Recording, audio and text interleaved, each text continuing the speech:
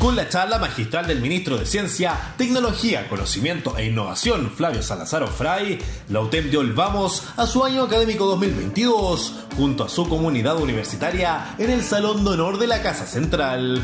Estamos muy contentos de haber tenido al ministro de Ciencia, Tecnología, Conocimiento e Innovación a menos de un mes de haber asumido el gobierno del presidente Gabriel Boric. Yo creo que es una gran señal que está dando hoy día el gobierno y el ministro a las universidades públicas y estatales.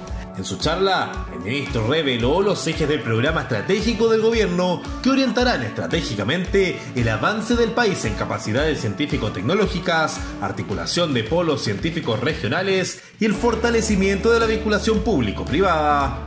Con ello, la misma autoridad gubernamental aseguró que la UTEM está bien encaminada, lo que refundó la máxima autoridad universitaria, quien afirmó que se avecinan importantes desafíos para la institución. La UTEM estaba desde antes ya iniciando un camino de fortalecimiento de la investigación, de la investigación eh, básica y también de la investigación aplicada.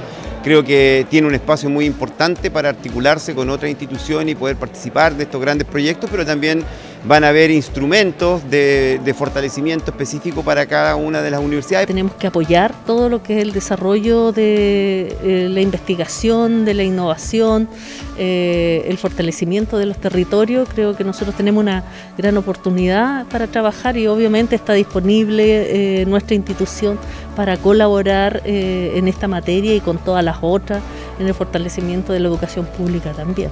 Es así como la UTEM fortalece su convicción y vocación de contribuir al desarrollo de la investigación aplicada, la ciencia y la tecnología sostenible e inclusiva, proporcionando contenido, dimensión y futuro a la actividad académica institucional.